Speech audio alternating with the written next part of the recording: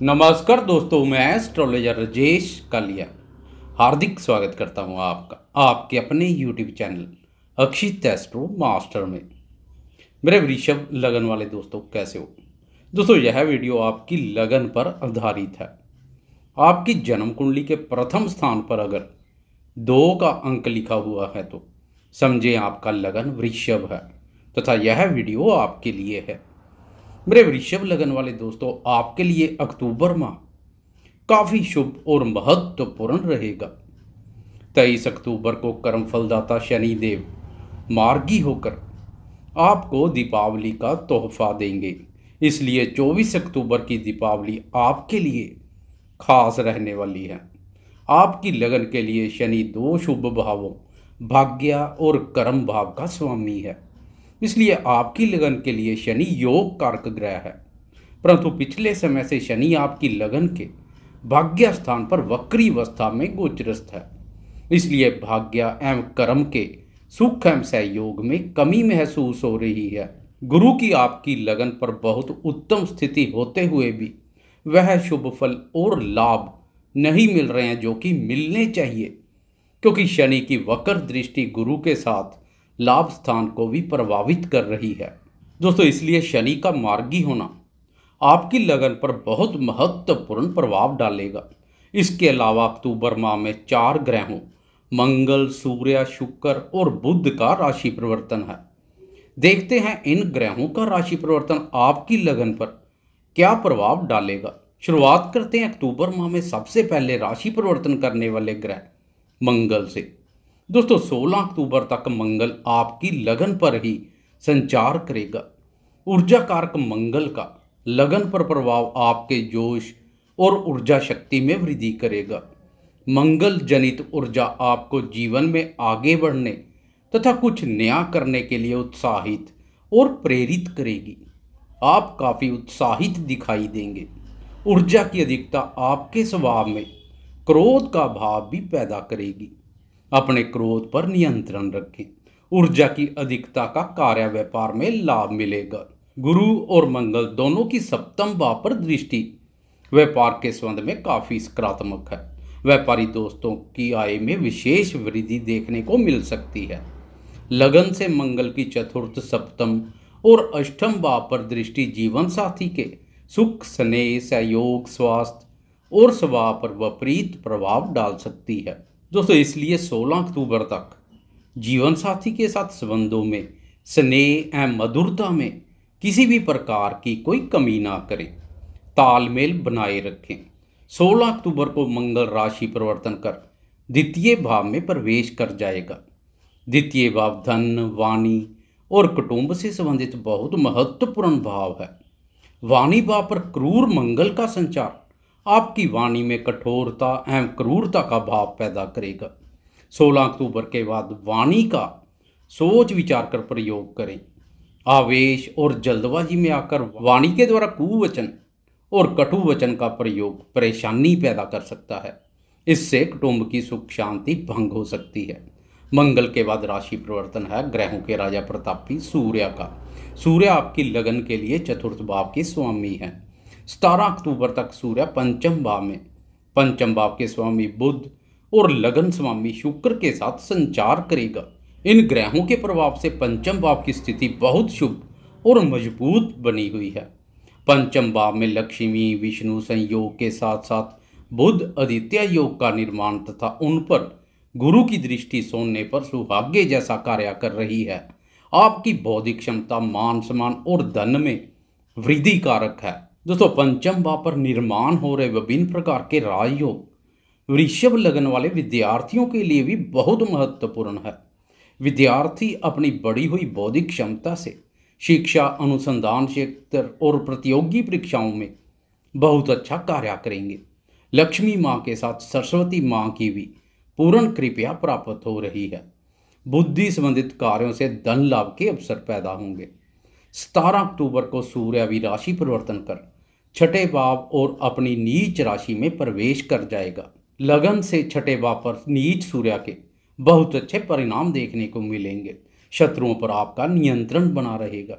आपके प्रभाव में वृद्धि होगी। परंतु घर परिवार के सदस्यों के साथ संबंधों में मधुरता बनाए रखें, खासकर माता जी के साथ। सूर्य आपकी लगन के लिए चतुर्थ भाव का स्वामी भी है।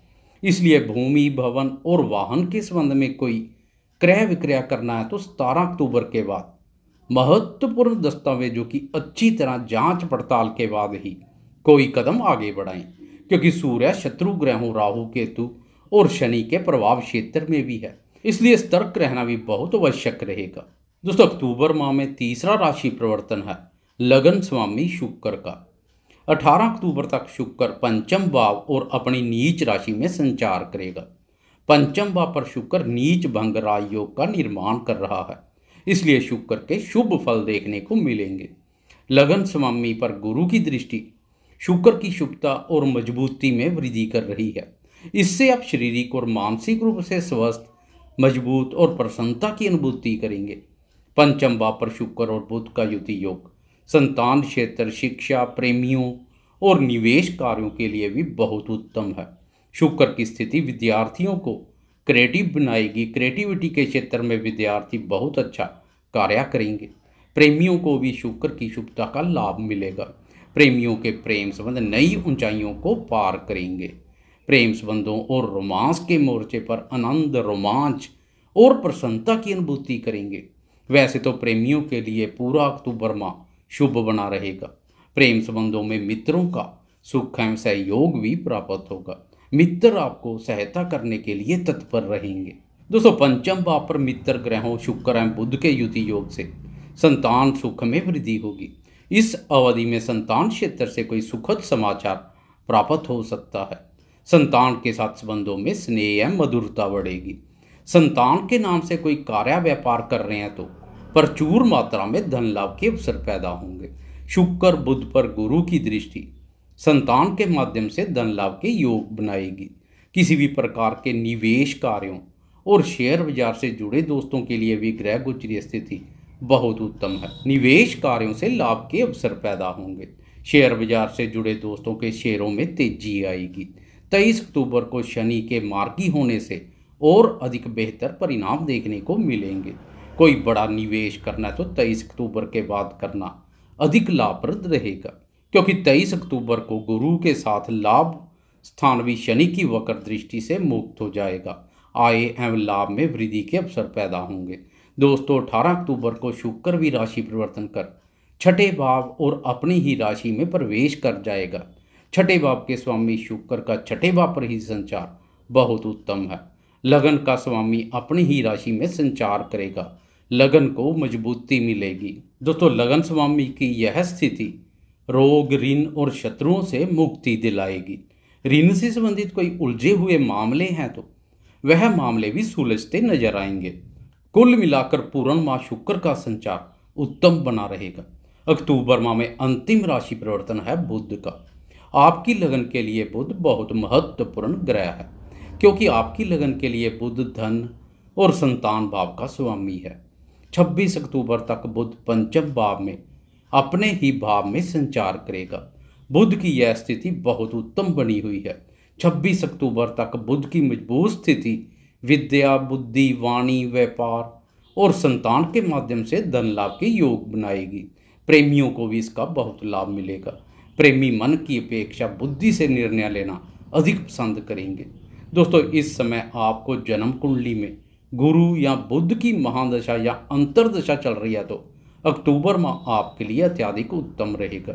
दोनों ही ग्रहों की स्थिति गोचर में बहुत मज़बूत बनी हुई है। दोस्तों 26 अक्टूबर को बुद्ध भी राशि परिवर्तन कर छठे भाव में प्रवेश कर जाएगा। छठे भाव पर बुद्ध के मिले जुले परिणाम देखने को मिलेंगे। इस समय ननिहाल पक्ष के साथ संबंधों में स्नेह एवं मधुरता बढ़ेगी। वह आपको सहयोग करने के लिए तत्पर रहेंगे। 26 अक्टूबर के बाद अनावश्यक खर्चों के प्रति सतर्क रहें। फालतू के खर्चों पर लगाम लगाने की आवश्यकता रहेगी।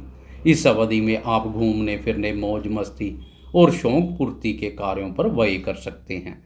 प्रेमीजन के साथ यात्रा करेंगे तथा प्रेमीजन पर अच्छा खासा व्यय करेंगे। यात्रा के संबंध में भी व्यय हो सकता है। दोस्तों, आपको यह वीडियो कैसी लगी, कृपया लाइक, शेयर, कमेंट्स और सब्सक्राइब करना ना भूलें। धन्यवाद।